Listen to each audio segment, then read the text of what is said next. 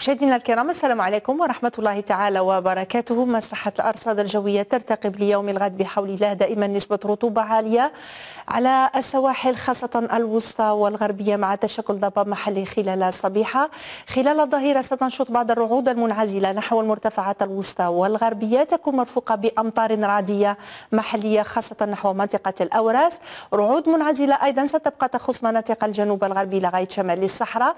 احتمال لبعض الأمطار الرعدية موسمية نحو مناطق أقصى الجنوب لغاية مرتفعات الهوغار والطاسيلي فيما يخص الحرارة خلال ليلة اليوم لغاية فجر يوم الغد ستفوق العشرين درجة على كل المناطق الشمالية تكون مرتفعة خاصة بالنسبة للأغواط. كذلك بنمسيلة وبوسعادة ستقرب 30 درجة. على المناطق الجنوبية تتراوح ما بين 30 لغاية 32 درجة بينما لن تتعدى 23 درجة بمرتفعات تمنراس و28 درجة بورقلة وإليزي.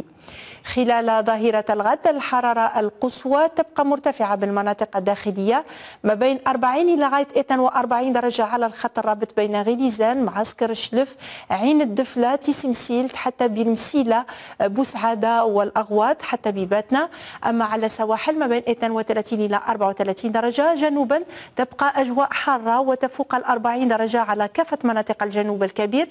عاد بثمن راس وجنات ما بين 37 إلى 39 درجة بينما ستقارب 47 درجة تحت الظل هذا بكل من تندوف وابن عباس.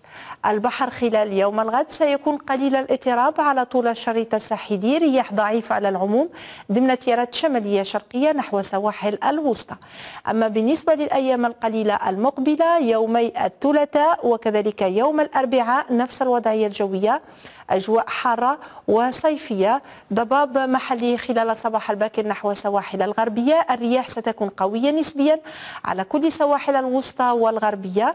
آه، بعض الخلايا الرعدية التي ستنتشر خلال أواخر الظهيرة أقول نحو المرتفعات الغربية تكون مرفوقة ببعض الأمطار الرعدية نحو المناطق الداخلية الوسطى وخاصة منطقة الأوراس.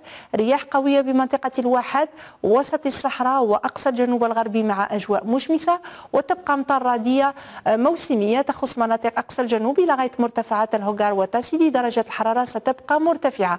يوم الخميس بحول الله تقريبا نفس الوضعية الجوية لكن الخلايا الرعدية ستقل نحو المناطق الداخلية وستتشكل بعض السحب الركامية بدون فعالية نحو منطقة الصوراء وكذلك منطقة الواحات. نعود إلى نهار اليوم.